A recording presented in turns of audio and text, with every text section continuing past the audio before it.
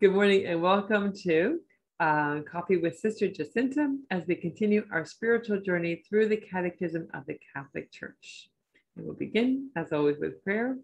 In the name of the Father and of the Son and of the Holy Spirit. Amen. These are ejaculations that you find in the opening of a chaplet called the Chaplet um, to the Holy Wounds, and or it's called the Rosary to the Holy Wounds. But uh, the prayers are, O Jesus, divine Redeemer, be merciful to us and to the whole world. Amen. Strong God, holy God, immortal God, have mercy on us and on the whole world. Amen. Grace and mercy, O my Jesus, during these present dangers, cover us with thy precious blood. Amen. Eternal Father, grant us mercy through the blood of Jesus Christ thine only Son. Grant us mercy, we beseech thee. Amen, amen, amen. name of the Father, to the Son, of the Holy Spirit. Amen. Hi. So today we are continuing with the Catechism, and we are on number 1652. And we're looking at the beautiful sacrament of matrimony. And the title for this section here is The Openness to Fertility. By its very nature, the institution of marriage and married love is ordered to the procreation and education of the offspring, and it is in them that it finds its growing glory. Children are the supreme gift of marriage and contribute greatly to the good of the parents themselves. God Himself said, It is not good that man should be alone and from the beginning he made them male and female, wishing to associate them in a special way in his own creative work. God blessed man and woman with the words, Be fruitful and multiply. Hence, true married love and the whole structure of family life which results from it, without diminishment of the other ends of marriage, are directed at disposing the spouses to co- cooperate valiantly with the love of the Creator and Savior, who through them will increase and enrich his family day to day. And this is something that in our time, very strangely, um, it is not seen as a gift. So often we are fed um, the line about being responsible and taking birth control and you know preventing children. And this is always seen as a curse throughout scripture if one is barren okay? Um, you know they the family is looked down upon. They are maybe you know considered maybe sinful that that god would not bless them with children. And whenever like you know they had the ark of the covenant okay come into an area that and there was this greater um, procreation um, among people as well as among animals. This was seen as the um, knowledge that God was blessing. Okay, um, it was seen as his, you know, just abundant um, gift, and so it's a very, very strange time that we're living in today that would instead see children as um, a problem as something to be freed of, um, as something to be avoided. And um, it is really um, the horror, okay, um, of our day. It's the scourge of our time. Um, it is um, a source of abundant grief and tears, okay, for our Lord. And and therefore, this openness to children is something we really, really need to hold, okay, when we're married. For those of us who are not, and we see families that are, being able to congratulate them and even to help them if we have means. I remember I was working with a lady one time and she was speeding, okay, through a town, and um, she got stopped by the police. And um, and as the police was, um, you know, coming out of his car, all of a sudden he sees all three of her children, like all like putting their faces to the window to see what's going to happen, you know, what's going on. And he was so mindful of the sacrifice to be a mother and to provide for children that he was gracious enough to give her a warning instead. Okay, and you know, you see these beautiful acts of charity done, okay, all over. You know, people realizing, you know what, my kid grew out of these clothes. Those kids are going into that same age and just finding a bag of clothes on that on the on their porch. You know, um, giving us, you know, a way of supporting and helping. These are beautiful things. Um, when I was growing up, okay, um, I come from a large family, and I remember that when my dad would go to a particular store, the manager would keep all the things that um, were now overdue, okay, or you know, like past the date, which were absolutely fine to use. Okay, they were canned goods, and you know, we would, be we would bring those home, and you know, how many provisions people just provided, and, and God opened doors. You know, that which seemed impossible with the um, the wages that my dad was bringing in, God made possible. He can multiply things. Um, and, and, you know, and just moving other people to charity and, and not being afraid of that. You know, we're so afraid sometimes of uh, being looked down as being poor and deprived of vacations and whatever. I mean, what is that compared to having eternity? And, um, you know, these things are fleeting. This world is not our permanent city. And keeping that in mind is super, super important because so often we make this world the end all be all and, and then we become closed to children and, and we see them more as a burden than a blessing. So again, you know, we read about this if we're young and we're hearing this, you know, be open, trust, okay? Um, you know, even if it's through, you know, lots of um, pressure and, and, and, you know, you're looking at the wallet with nothing in it, you know what I mean? But know that, that God is there and um, and then for all of us who are not be willing you know to share with those whom you see um, could always use um, you know a, a gift. You know how beautiful it is sometimes when a family comes up to the counter and finds out the person in front of them paid their bill. Um, you know, these are just beautiful acts of random charity and and so often can lighten the load. I remember if that was something Scott Hahn had mentioned, you know, and um, you know, when they when they were open to children because they found out that birth control was something that was totally contrary to God, and um, you know, and they ended up having six children, and they were still paying off loans, and um, you know, they the willingness for someone to help them, and later on for them to help another, uh, just keep on, you know, pushing forward, or the word is, okay, you know, um, and, and giving it to the next person is something that is just on a human level so encouraging. So we go to 1653 and we read The fruitfulness of conjugal love extends to the fruits of the moral, spiritual, and supernatural life that parents hand on to their children by education. And I'm going to stop right there. You know, it's one thing to be a physical mother or a physical father, but it cannot end there. All right. The duty, okay, of being a parent is huge right? Um, truly, you know, that willingness to be their educator, to be a disciplinarian, to be a, an encouragement, um, to be a, a, moral example, okay? And, um, you know, this is principal um, responsibility of parents. You are to personify God, okay, to that child. And, you know, so that willingness to be able to discipline and say no to something because it wouldn't be for their good. All right. And not just to be able to please them. Okay. Um, because it could be to their ruin.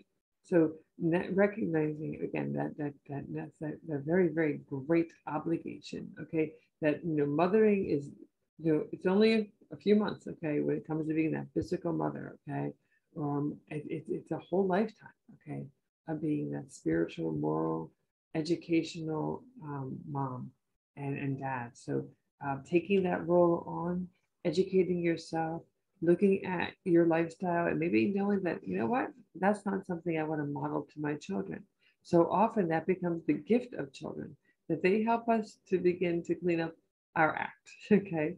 So, in this sense, the fundamental task of marriage and family is to be at the service of life. Spouses to whom God has not granted children can nevertheless have a conjugal life full of meaning in both human and Christian terms. their marriage can radiate a fruitfulness of charity, of hospitality, and of sacrifice. And again, it's not to allow us then just to be selfish and indulgent. Okay. Um, this is a, God's mystery of why some can have children, some cannot. But um, it isn't for us to just become focused on ourselves. Again, we're made in the likeness of God. He is the giver. And so looking at ways to be charitable, to be hospitable, to make sacrifices. Okay, domestic church is part six of this section, and it says, Christ chose to be born and grow up in the bosom of the Holy Family of Joseph and Mary. The church is nothing other than the family of God. From the beginning, the core of the church was often constituted by those who had become believers together with all their household. When they were converted, they desired that their whole household should also be saved. These families who became believers were islands of Christian life in an unbelieving world. And again, we're seeing that same sense right now. Okay, um, this was a time past, but it really is now a time present where we may be an island of Christian, okay, um, living in an unbelieving world let it let it be um, a safe harbor for anyone.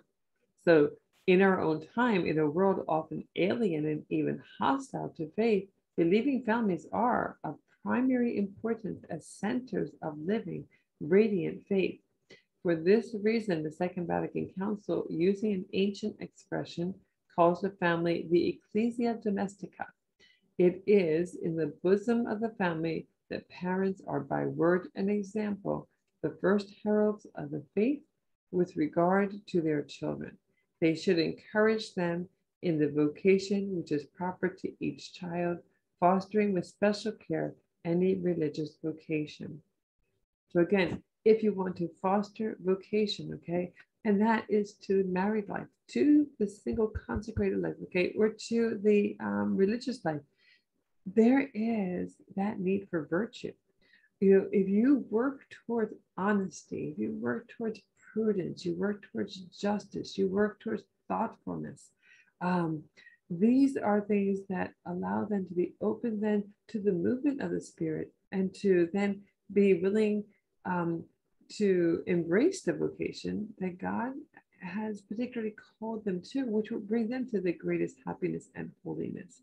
And um, so again, fostering, okay, for those, you know, who have children who are looking towards religious life, you know, um, not to hinder that, okay, um, but to foster it. It is here that the father of the family, the mother, children, and all members of the family exercise the priesthood of the baptized in a privileged way by the reception of the sacraments, prayer, and thanksgiving, the witness of a holy life with self denial, the act of charity. Thus, the home is the first school of Christian life and a school for human enrichment. Here one learns endurance and the joy of work, paternal love, generous, even repeated forgiveness, and above all, divine worship in prayer and the offering of one's life.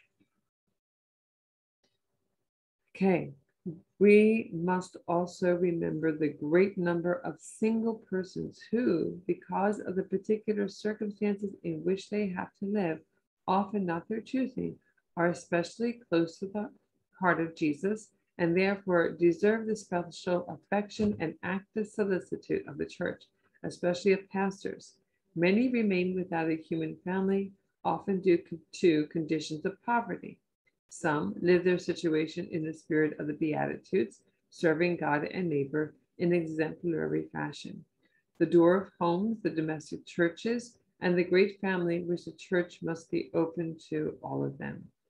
No one is without a family in this world. The church is a home and family for everyone, especially for those who labor and are heavy burdened. All right, so you know, there are, okay, people who are single, okay? And again, it can be all different kinds of circumstances. The poverty might be that there was no, no one out there, okay, to marry, okay? You thought you were called to marriage, but, you know, the right guy or the right girl did not come along. Um, you know, and, and yet, then don't waste that time. Consecrate that chastity, okay, to God, okay? If he wishes later to call you to marriage, absolutely fine, but use it for his glory. Testify to your love of God, to him ruling your decisions. Be available to assist others. So often, this is the gift of being single that is not possible for those who are in religious life or those who are married. Um, because they have to be able to take care of the particular family, okay, whether it's the consecrated family, the religious family, or whether that's the natural family, um, and having to be there. But when one is single, there's a freedom um, that allows you to be of service where others cannot be. So, um, you know, again, it's not towards ever selfishness, okay? Um, and just again, let, let God, you know, decide how your future is. Leave yourself open, um, and and then accept every day as His will, and and use it to the fullness of grace. Um, and that's that's where He is. That's we can't live the past, and we can't live the future. We can only live the present. Okay, so we're now at the in brief. Okay, it's like a little review. And if you're in your books, we're on 1659. St. Paul said, Husbands, love your wives as Christ loved the church. Okay, even to the point of laying down his life. Okay, it's a huge order.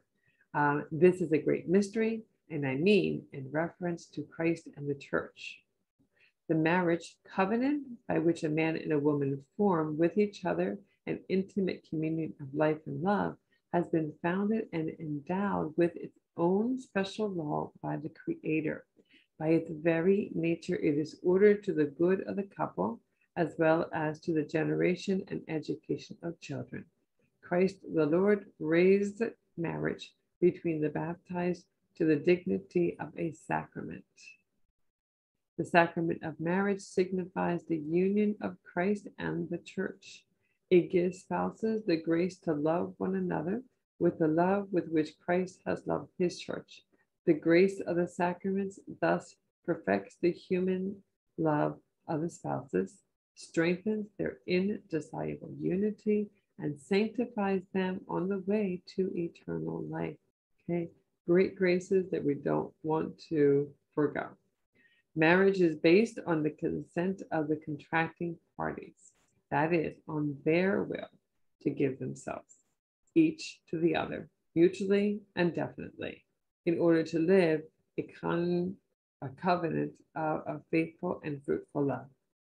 Okay, since marriage establishes the couple in a public state of life in the church, it is fitting that its celebration be public in the framework of a liturgical celebration before the priest or a witness authorized by the church the witnesses, and the assembly of the faithful.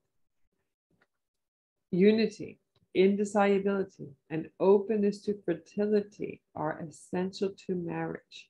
Polygamy is incompatible with the unity of marriage. Divorce separates what God has joined together. The refusal of fertility turns married life away from its supreme gift, the child. The marriage, the remarriage of persons divorced from a living lawful spouse contravenes the plan and law of God as taught by Christ. They are not separated from the church, but they cannot receive Eucharistic communion. They will lead Christian life, especially by educating their children in the faith. Okay, so if one, okay, has chosen to contract a marriage outside of the sacrament, okay, um, because they are divorced, you cannot receive Holy Communion. You're not what's called excommunicated, okay? You need that confession and you need that change, okay, in your life.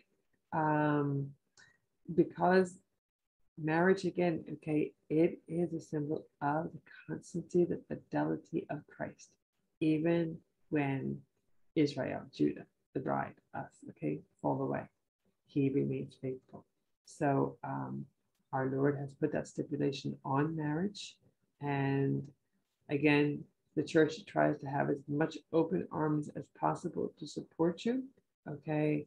Um, even in your bad decisions, okay, not ever condoning it.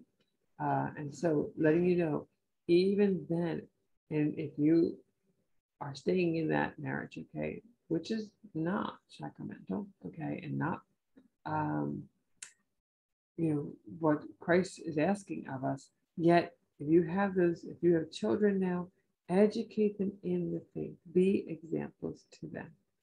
Okay, the Christian home is the place where children receive the first proclamation of the faith.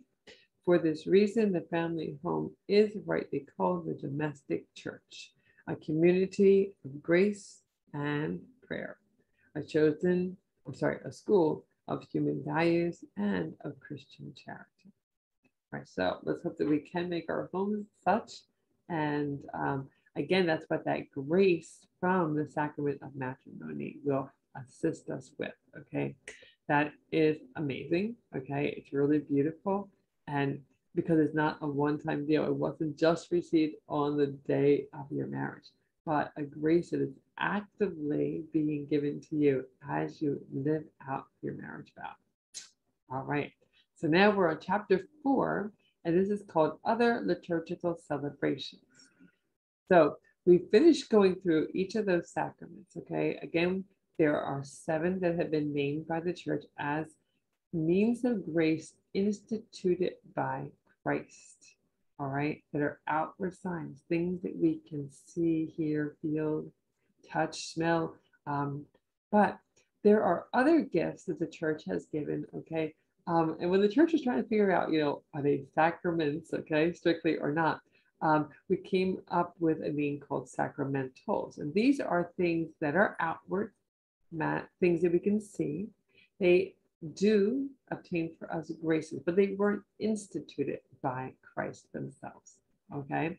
That does not make them not means of grace. They, they definitely are, but they're not with that amazing amount of grace that was received in those seven sacraments.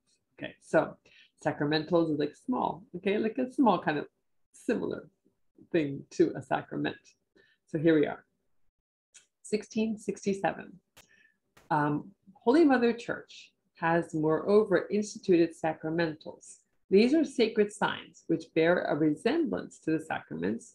They signify effects, particularly of a spiritual nature, which are obtained through the intercession of the church.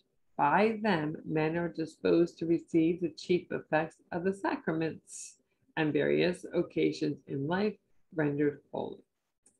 So again, these are going to be assisting us on the way. And we're looking at 1668. Sacramentals are instituted for the sanctification of certain ministries of the church, certain states of life, a great variety of circumstances in Christian life, and the use of many things helpful to man. In accordance with bishops' pastoral decisions, they can also respond to needs, cultures, and special history of Christian people of a particular region and time. They always include a prayer, often accompanied by a specific sign, such as the laying on of hands, the sign of the cross, or sprinkling of a holy water, which we recall our baptism. Sacramentals derive from the baptismal priesthood Every baptized person is called to be a blessing and to bless. Hence, lay people may preside at certain blessings. The more a blessing ceremony, ecclesial and sacramental, the more is its ardent desire. Oops. Okay, let me do it again. Sacramentals derive from this baptismal priesthood. Every baptized person is called to be a blessing and to bless. Hence, lay people may preside at certain blessings. The more a blessing concerns ecclesial and sacramental life, the more is its administration reserved to the ordained ministry, that is, bishops, priests, and deacons. Okay. So the more similar it is to an actual sacrament, the more that particular sacramental is given over to a priest, okay, to administer um, or bless um, or, or to give. So sacramentals do not confer the grace of the Holy Spirit in the way that the sacraments do, by the, but by the church's prayer, they prepare us to receive grace and dispose us to cooperate with it. For well disposed members, the faithful, the liturgy of the sacraments, and the sacramentals signify almost every event of their lives with the divine grace which flows from the paschal mystery of the Passion, death, and resurrection of Christ from the source of all sacraments and sacramentals draw their power. Okay, so let me just start that part over there again. Okay, and most of this I've already said, okay, but just want to make sure I get that paragraph read nicely. Sometimes I get tripped up, okay, and it comes out the way I say that sentence. So, sacramentals do not confer the grace of the Holy Spirit in the way that sacraments do, but by church prayer, they prepare us to receive grace and dispose us to cooperate with it. For well disposed members of the faithful, the liturgy of the sacraments and sacramentals signifies almost every event of their lives with the divine grace which flows from the paschal mystery of the passion, death, and resurrection of Christ. From this source of sacraments and sacramentals draw their power. There is scarcely any proper use of material things which cannot be found directed toward the sanctification of men and adapted to praise the people of God. All right, so getting through that paragraph, okay, again, we're working with the idea of how powerful both the sacraments and sacramentals are and helping us then to receive graces and um, and these these graces okay get their derive their power from the sacraments. Okay especially again that the sacrament of of the holy eucharist because it is the source and the summit of all the sacraments because it is christ himself. And i think we'll end right there and then we're going to look at some various forms of sacramentals. All right thank you and let's close with a prayer to our angels um, Father, Son, of the Holy Spirit, amen. Angel of God, my guardian dear, to whom God's love and trust me here, ever this day, be at my side, to light, to guard, to rule and guide. Amen. In the name of the Father, and of the Son, and of the Holy Spirit, amen.